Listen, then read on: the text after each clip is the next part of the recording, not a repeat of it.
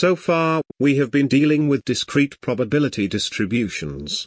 There's another kind of probability distribution called continuous probability distribution. Let's see some features of continuous probability distributions.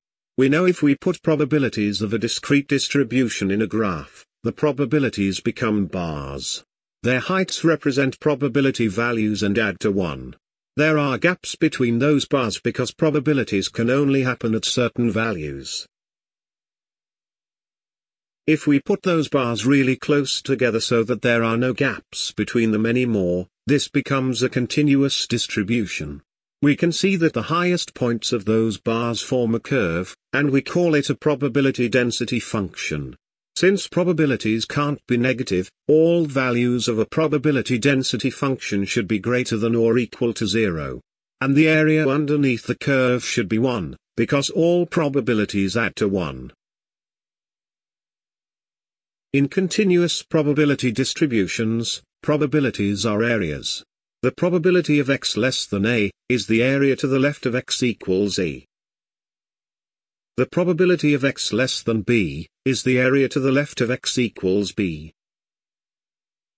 The probability of x between a and b, is the probability of x less than b, minus the probability of x less than a. It's the area between a and b. If we bring A and B closer and closer, the area between A and B becomes smaller and smaller.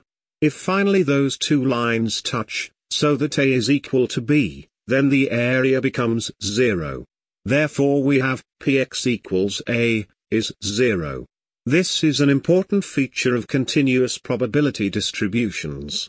In continuous probability distributions, the probability that x is equal to a particular value, is 0. Remember this important feature because we'll use it later. In this class, we learn continuous probability distributions. In continuous probability distributions, there's a probability density function f of x. It is never negative. Area under the probability density function is 1. Probabilities are areas.